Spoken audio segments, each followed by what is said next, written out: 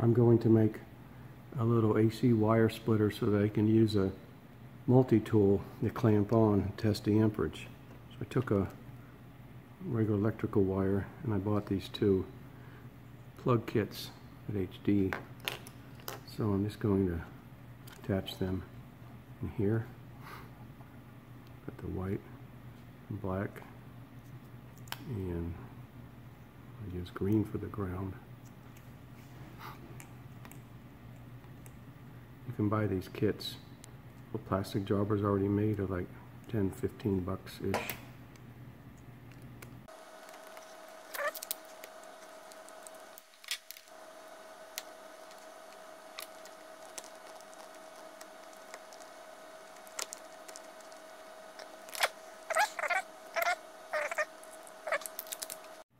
I put this sleeve on here. I'm going to heat gun it on there just to give this clamp a little bit to bite on and just seal it here. But I don't want to put, oh, I guess I'll slide this one down. Now press it real tight here.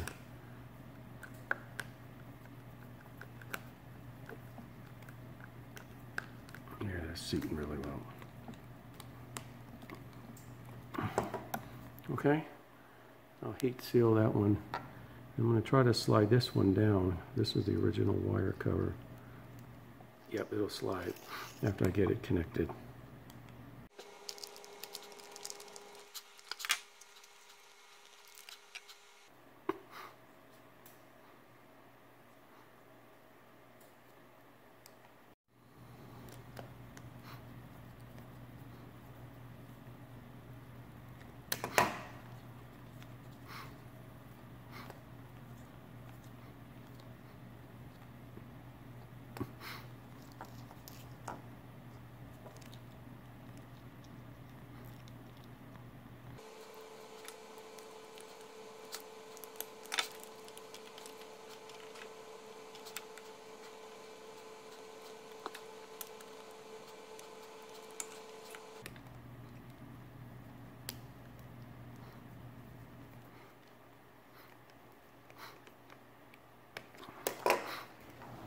There we go.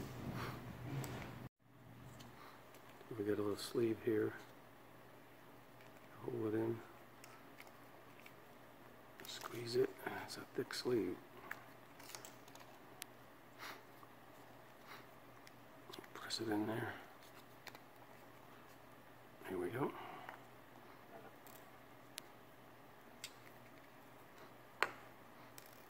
we should put this screw in first.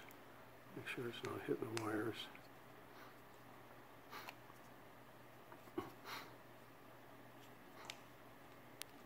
Here we go. Have to clear that little hole right there.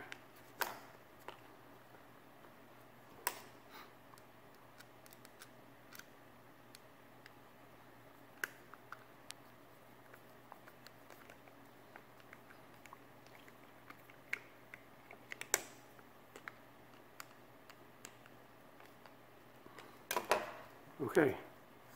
Now I did check all these wires to make sure there's no cuts. You have to be real careful.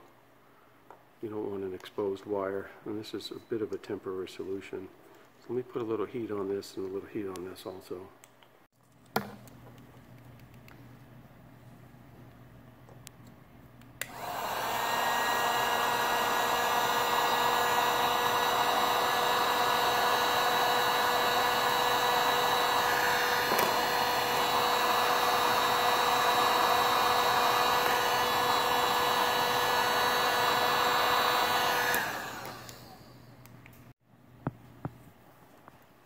You have a little wire use our amp meter on. Made this little gadget, took the sheathing off of these wires so I can clamp on to just one individual wire. The green one's the ground. I'm going to test the amps coming out of this hot air gun. So, got it off. Turn it on to 40 amps. Clamp onto the black one. Pretty perpendicular. Watch, watch when I turn this gun on. 7.40 amps, 38. Yeah, let's see if I go up higher. Two speeds. That's low. 6.23. That's off. This is higher. Awesome. We finally have something to check the amps with. Now, I have my laptop plugged into it. You can see it's not drawing too many amps, very little. It's not really doing anything. Nice device.